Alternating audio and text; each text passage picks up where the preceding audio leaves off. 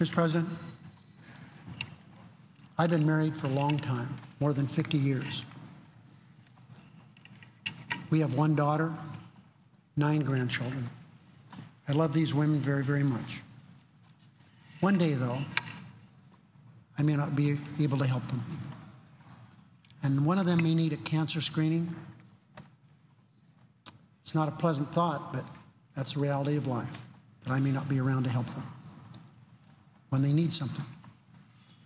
Over their lives, they'll be in need of other things, like a cholesterol check, maybe their blood pressure screening, tests that are less serious, but just important to a woman's health.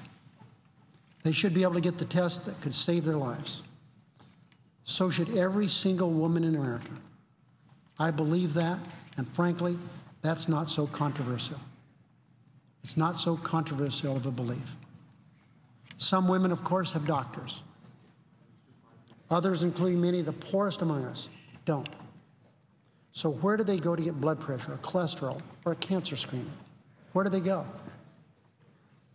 Thankfully, there's a little known part of a little known law that saves many lives. It's called Title 10, and it's part of a public health law. And it means that women and girls can go to their local health department or a community clinic and get these tests. Mr. President, more than 5 million women use these centers for Title X coverage every year. 5 million. 5 million. One of them could be my granddaughter or my daughter. Mr. President, some watching us today, and we know the whole world's watching us today, may be asking why I'm talking about women's health.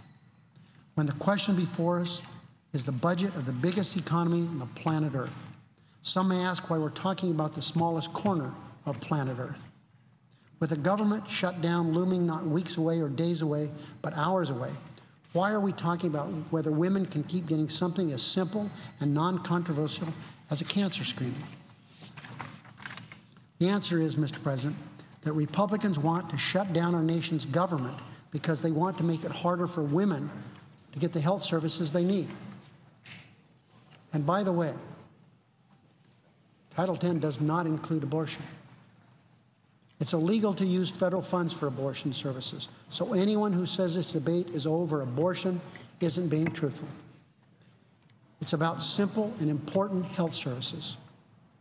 Republicans want to shut down the government because they think there's nothing more important than keeping women from getting cancer screenings. This is indefensible, and everyone should be outraged. Men and women should be outraged.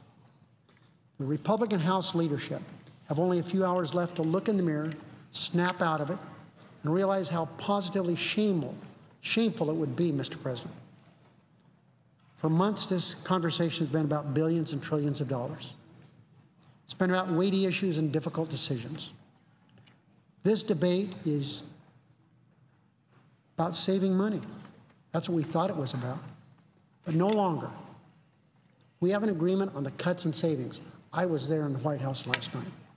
And that agreement includes a historic level of cuts. We've always recognized we had to make cuts. That's why we agreed in the White House last night to make significant cuts. Hard, but important.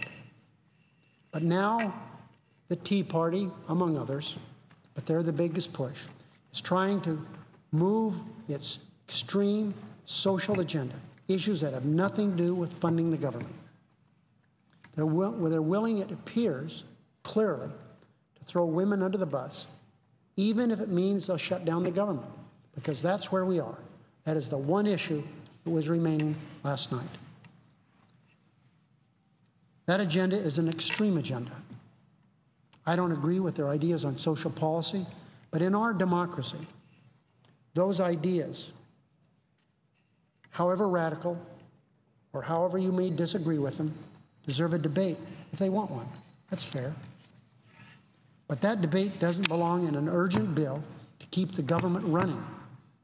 And it especially doesn't belong here at this late hour. The consequences of letting our country's funding expire would be devastating. Almost a million federal employees, Mr. President, People who work for the Bureau of Land Management.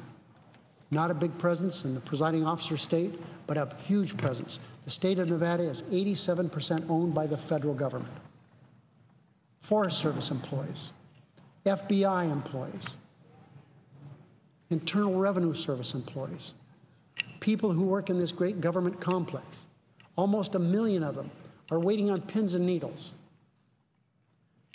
Federal employees are like everybody else. They're working from paycheck to paycheck. They're wondering if they're going to be able to get that new car they've needed for three or four years. They're wondering if they're, with summer coming, uh, are they going to be able to take that vacation that they've wanted to for a long time? That's what the federal employees are like everybody else. The consequences of letting our country's funding expire would be devastating to people, individuals. It would be devastating to our troops, to our small businesses, and to Americans' everyday lives. People who just want to get a home loan, or get their tax refund, or, I repeat, their paycheck. Would damage our image and credibility around the world. But Republicans are asking me to sacrifice my wife's health, my daughter's health, and my nine granddaughters' health. They're asking me to sacrifice the health of women in Nevada and all across this country.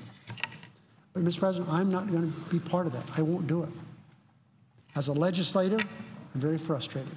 As an American, I'm appalled. As a husband, a father, and a grandfather, I'm personally offended.